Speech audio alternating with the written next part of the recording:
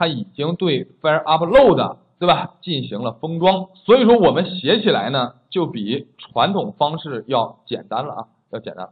OK，那你现在只需要写这一段代码就可以完成文件的上传了。但是文件上传完了以后，你要注意怎么的？你得把这个文件上传的那个路径得存入到数据库当中啊。那这个时候我们要怎么办呢？哎，那这个时候我们接下来要做这儿啊，要做第三步啊。要将我们文件上传的路径存到哪儿啊？哎，数据库中。那怎么往数据库里边去存呢？那这个时候你就要修改谁了？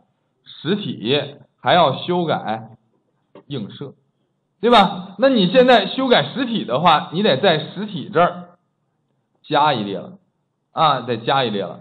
比如说，我们就到这个地方吧，再给它加上一列，写个啥呢？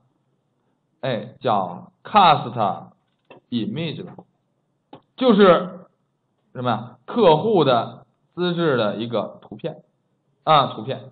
那现在我们是不是也应该对它生成 getSet，对吧？到这儿啊，把这个也给生成一下。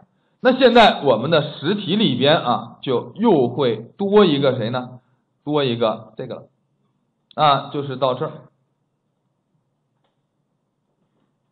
啊，多了一个 image 的这个属性。好了，那现在实体搞定了。那么我们接下来看这个映射，我是不是也应该在映射里边去多加一个属性啊？对不对？叫 cast image。啊，这边呢也是 cast image 啊。那现在我们的这个也加好了，啊，这个映射也加好了。那接下来我们就需要去改代码了，你得把这个值呢，就是你那个路径最终放到哪儿去？是不是得放到这个字段上？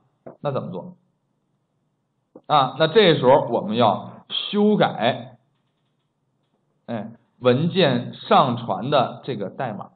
那么好了，我们现在到这边啊，当我们如果它不为空的时候，我们需要干啥呀？设置啊，设置 image 的这个属性的值，那也就是说，你得在这儿自己手动去封装这个 cast image 啊，对不对？是不是得设置它？那这个值是谁呢？是谁呀？是不是应该是我们的这个路径加上这个 UUID 啊？对不对？那就是它。啊，就是它，或者是你把这个东西是不是给单独提出来，然后放到这里边？那现在一旦是这个属性有值了，那你下边在 save 的时候一保存，是不是就进到数据库了？对不对？哎，就进到数据库了。而且我们这边一保存成功，我这儿应该来个什么？save success，对不对？哎，那么好了。我们到这边给它配置一个跳转，就是你一保存完以后呢，我们让它去哪儿啊？下边这儿来个，哎，save success。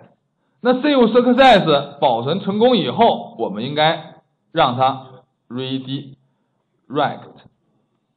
啊 action，嗯，redirect，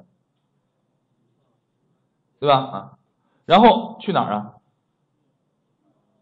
哎，去我们的 custom find all 点 action，还让它去这个路径就可以了啊。好了，那现在呢，我们来测试一下啊。当然，你现在的数据库的表里边就应该到时候只要一建完啊，就应该多一列了，因为它是什么自动更新的嘛，咱们不是建的是那种 update 那个嘛，对不对？哎，好了。看这一列现在是不是就有了？然后我现在呢，把这个首尔的那先给它删掉啊。哎，OK。那现在呢，我们到这边刷新，然后这是我们的一个列表显示啊。然后到这边我们添加，哎，还是那个深圳首尔科技有限公司，然后普通客户电话营销电子商务，然后来个电话是吧？零七五五是吧？哎，一二三四，好了，电话，OK，然后给他选择图片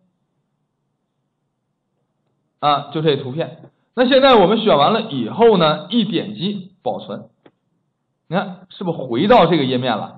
然后你去最后一页去看，有没有这个呀？是不是有了？然后我们到数据库里边去看最后一列它所存放的这个路径，看见了吗？这不就有你的图片的一个具体的路径了吗？对不对？哎，OK，那现在我们就已经完成了保存，并且呢，把它保存到哪儿去了？数据库当中，对不对？哎，现在就已经可以啊来实现这个事儿。哎，OK 啊，就是这一段，然后呢，我们这里边就给它加了一个属性的设置，就这儿。